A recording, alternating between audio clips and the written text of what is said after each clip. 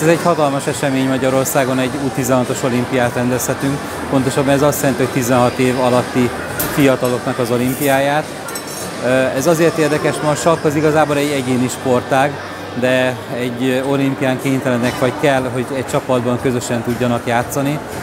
Ez egy nagyon nagy előrelépés a mi fiataljainknak, akiket szeretnénk, hogy beépüljenek a felnőtt válogatottba.